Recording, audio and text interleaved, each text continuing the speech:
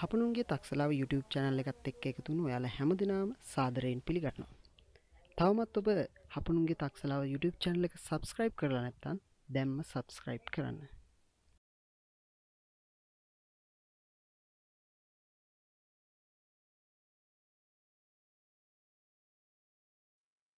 අද ඔයාලා මාත් එක්ක එකතු වෙලා ඉන්නේ ශිෂ්‍යත්ව විභාගේ පළවෙනි පේපර් එකේ විභව තාමාන 14ක් ආවරණය වෙනවා. ඒ 14 ගැටලු විසඳීම යන කොටසින් එක්තරා ගණිත ගැටලුවක් සරල ආකාරයෙන් විසඳන්නේ කොහොමද? විසඳුම් ක්‍රමය ලබා ගන්නේ කොහොමද කියලා කතා කරන්න තමයි අපි හදන්නේ. ඉතින් අපි බලමු.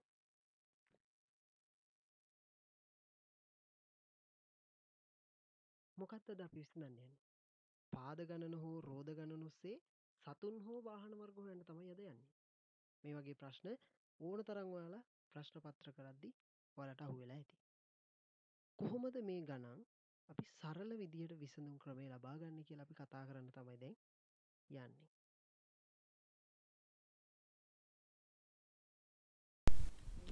හරි මොකක්ද අපේ ගැටලුව එක්තරා ගොවිපලක කුකුලන් හා ගවයින් පමණක් සිටි උන්ගේ මුළු හිස් ගණන අටකි පාදගන්න විසි දෙකකි ගොයිපලේ සිටින කුකුලන් ගන්න සහ ගවයින් ගන්න සොයන්න කියලා කියන තැදි පුතේ මුළු හිස් ගණන අටයි කියලා කියන්නේ මෙතන ඉන්න කුකුල්ලොයි ගවයොයි ඔක්කොම අටක් කියන එක. පාදගන්න විසි දෙකයි කියලා කියන්නේ මෙතන ඉන්න කුකුලන්ගේ ගවයින්ගේ පාද ඔක්කොම විසි දෙකයි කියන එක. එතකොට වෙන වෙනම දීලනෑන අපිට හොයන්න ගන්න කුකුල්ල මෙච්චරයි ගව මෙච්චරයි කියලා වෙන වෙනම හොයන්න තිය එතන්දිම පුංචි වැඩක් කරන ඔයාලට මතක හිටින විදිහට මොකක්ද මෙතන මුළු හිස් ගන්නට. එහෙම නැත්තම් පා ඔක්කොම සත්තු වට නිසා මම කරන්නේ බෝල අටක් ඇඳගන්න බෝල අටක් ඇඳගෙන මොකද කරන්නේ? මෙතන සත්තු වර්ග දෙකයි සත්තු වර්ග දෙකක් නිසා මම මේක මේ බෝල ටික දෙකට බෙදාගන්න ඇයි දෙකට බෙදන්නේ? මෙතන සත්තු වර්ග දෙකක් තියෙන දෙකක් සිටින නිසා. බෙදාගෙන මම්මකද කරන්න? මෙතන අඩුවෙන් පාද තියෙන කාටද? කුකුලට. කුකුලට පාද කියත් තිනවද දෙකක් තියෙන ඒ නිසාමම දෙකෙන් දෙක දෙකෙන් දෙක මේ බෝලේ ලියාගෙන නො දෙක පස්සේ හතර හය අට පස්සේ දහය දොළහා දාහතර දාසය. දැම් පුතේ ඉවරයි. දැම් මොකද කරන්නේ? දැම් උඩ පැත්ත ඉවරයි. තව යට පැත්තක් තියෙනවා හෙනම් දාසින් ඉවර කර හරියන්න අපි පාද විසි දෙකක් යනකයි යන්න යට පැත්තක් තියෙනවා අපි මොකද කරන්නේ දැන්? උඩ පැත්ති ඉවරයි දාසයෙන් ඉවරයි. දාසේ නවත ලායි දෙකින් පටන් ගන්න මොකද කරන්න? දාසේ ඉදම් ඉතුරටික යන දාසේ ඉළඟට දහට ඔන්න මන්දානව පේනවා. දාට පස්සේ විස්ස. ඉට පස්සේ විසි දෙක. අතනින් හට යනවද? නෑ. ඇයි? විසි දෙකයි පාද තියෙන් ඔන්න පාද විසි දෙක දාලි වරය දැම් මොකද වෙලා තින්නේ ඔයාලට පේනවා දැන් තිරේ. මොකක්ද පාද දෙක දෙක දෙක දෙක තියෙන අයයි පාද දෙක දෙක තනියෙන් තියෙන බෝලයි තියෙනවා. තකොට දෙක දෙක තියෙන තියෙනවා කියන්නේ හතරක් තියෙන පාද හතරක් තියෙනවා ඒ උන් මොක්කුද? ගවයින් කියලා අපි කියනවා. එතකොට පාද හතරක් තියෙන සත්තු තුන් තුනක් සින්නවා පාද දෙකේ බෝල එහෙම නැත්තම් යටපැත්තේ දෙකේවා නැති ඒවා බෝල තියෙනවා පහක්.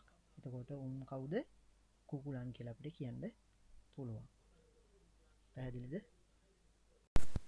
දැන් අපි ඉස්සල්ලා හදපු ගානම චුට්ටක් වෙනස් ක්‍රමයකට හදන්නේ කොහොමද කියලා බලමු. වෙනස් ක්‍රමයකට කියලා කියන්නේ පුතේ මෙතන ගණිතමය ක්‍රමයට හදන්නේ කොහොමද කියලා තමයි බලන්න යන්නේ. ගනිතමය ක්‍රමයට හදද්දී මෙතන්දි අපි උපකල්පනය යොදාගන්න. මොකක්ද මේ උපකල්පනය කියෙන් උපකල්පනය ගැන අපි හිතනවා. මෙතන කුකුලන් හා ගවන්න වනේ අටක්. තොට අපි හිතන මෙතන අඩුපාද තියෙන කාඩද කුකුලන්ට. තොට මෙතන ඉන්න සියලුම සතුන් කුකුලන් කියලා අපි හිතනවා. ට කුකුලන් සියලුම සතුන් වහම සියලුම සතුන් අටයි.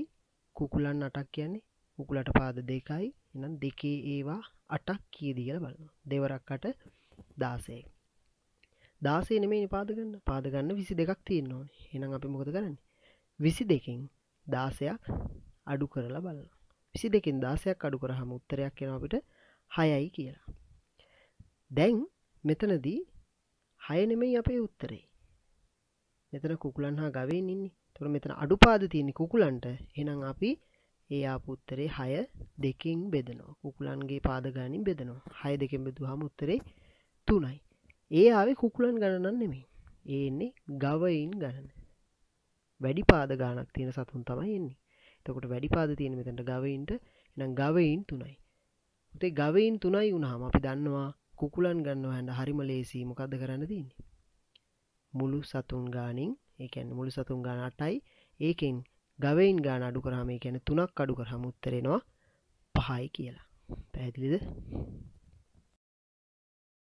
ද මේ ගාන බලන්න. චුට්ටක් වෙනස් කරලා තියෙනවා. වෙනස්කම් කිහිපයක් තියෙනවා.